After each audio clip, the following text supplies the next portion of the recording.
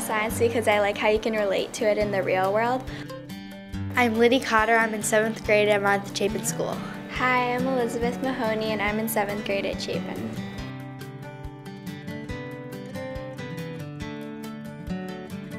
I'd like to tell you a little bit about what we did this past summer.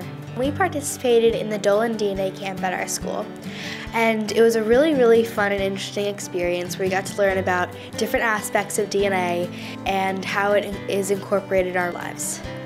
It was a really great experience because we got to extract our own DNA and it was interesting to see our own DNA.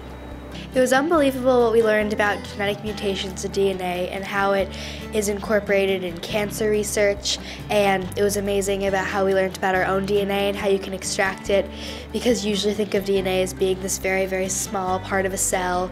But now um, you can extract it and see with your own eyes. And that was a really exciting um, experience for all of us. What I was most proud of was building my own cell.